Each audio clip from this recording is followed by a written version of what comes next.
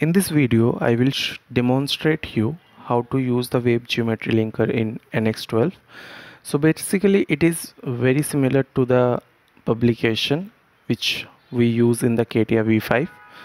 So what is the use of wave geometry linker? So if you want to extract as I am showing you, uh, if you want to extra extract any composite curve or any point or any body from different models of the assembly you cannot able to extract it. So you need to go to the assembly and there you will find the wave geometry linker. What it does it will extract you the edge or the point or the datum or the face or anything you want like body from different model or the part. So you can use that link uh, edge to subtract to create body whatever you want so it is very helpful tool in press tool design which we use to create uh, link bodies from different models